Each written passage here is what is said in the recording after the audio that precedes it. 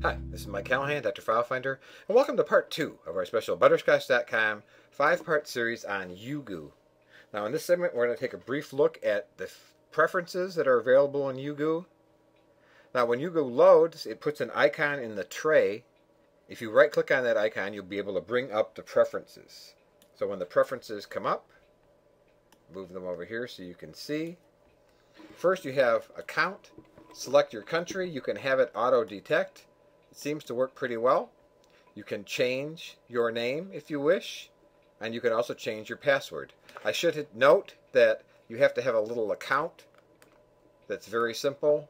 Name, email address, that's pretty much it for Yuuguu. If you click on the Advanced tab, you can have yourself logged in automatically, have fastest screen sharing, start minimized, have sound, and have emoticons. Any of those things you don't want, if you don't want emoticons, just uncheck it. If you want it to run on startup, just click that. Now, as far as external accounts, this is kind of an interesting feature because if you have other instant messaging accounts, you can click Add Account. For example, AIM. You can type in your username and say add account and then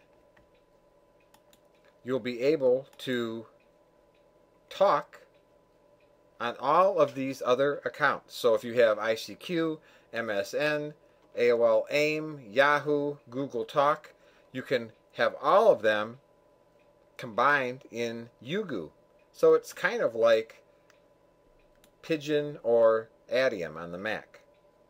So Yuuguu has a few preferences, but they're very handy. And that concludes part two.